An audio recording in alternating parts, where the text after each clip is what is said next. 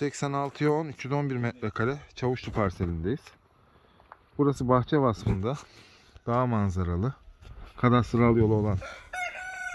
Her ne kadar bahçe de geçse köyün içinde olduğu için imar alanında kalan bir arazi. İçinde erik ağaçları var. Bazı ağaçlar kuru. Ormana bakıyor, dağa bakıyor. Güzel bir arazi. Aynı zamanda bunun hemen karşısında şu arkamı döndüğüm zaman kerpiçten bir ev var. O da 104 metrekare. İkisi bir arada satılık bunlara.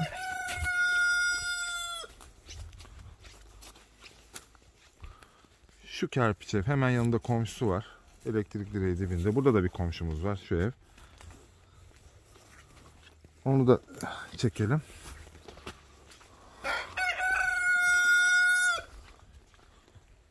Gene bu da dağ manzarasını görüyor. Bunun da sınırı burası kadastral yol. Şu gördüğünüz ağaç sınırı oluşturuyor.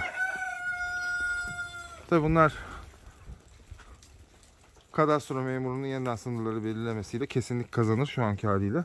Köylünün sınır diye belirlediği yerler buralar. Bu işaretler. Bu yıkılacak, baştan yapılacak bir arsa. 104 metrekare. Her iki arazimizde %40 imarlı. İki kat yapılabilir nitelikte. Yıkılacak, temizlenecek, yeniden baştan %40 imarla yapılabilir. Gene süper dağı görüyor. Çok güzel. Ha bu arazimizin güzel bir noktası da şu eski okul. Köy meydanına da çok uzak değil.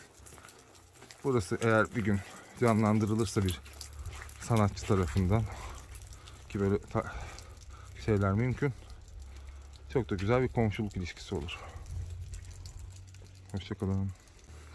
Herkes için hayırlısı olması dileğiyle Durukan Emlak'tan sevgiler, saygılar.